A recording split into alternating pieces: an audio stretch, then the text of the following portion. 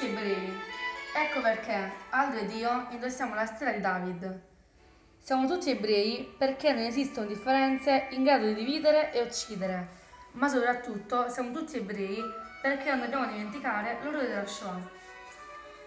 La Shoah ha avuto inizio dai piani diabolici di Adolf Hitler, che in nome della purezza della razza ariana ha messo in atto lo sterminio più terrificante della storia dell'umanità. Milioni di ebrei privati della loro identità, spogliati dei loro abiti e deportati nei campi di concentramento, sfruttati e torturati fino alla morte.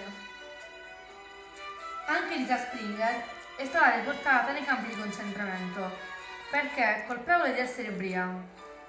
Nel 1945 è stata liberata e rientrata in Italia ha speso gli ultimi anni della sua vita raccontando soprattutto ai giovani la sua storia di perseguitata e deportata. Da questi incontri è nato il suo libro L'eco del silenzio, la Shoah raccontata ai giovani.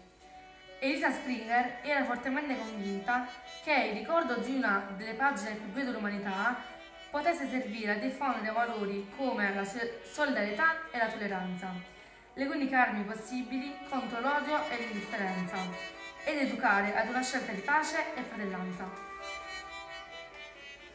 Oggi è il 27 gennaio, una data che tutti noi non possiamo dimenticare.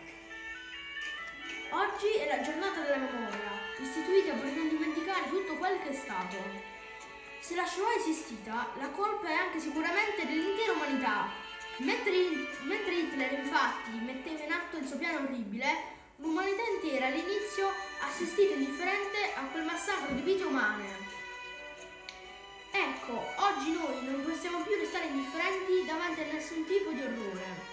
Dobbiamo abbattere il muro dell'indifferenza, così come è stata incisa nel marmo del binario 21 della stazione centrale di Milano. Da lì sono partiti tre treni, da cui è partita anche la senatrice Liliana Segre. Facciamo attenzione. Oggi la Shoah è anche l'indifferenza verso i migranti, i malati, le donne vittime di femminicidio e i bambini maltrattati. Non dimentichiamo mai che le differenze sono una risorsa e non devono farci paura, ma soprattutto non dimentichiamo mai che siamo tutti esseri umani. Per noi la Shoah ha diversi colori, rosso come la passione per il cambiamento. Nero perché la Shoah rappresenta una delle pagine più buie della storia.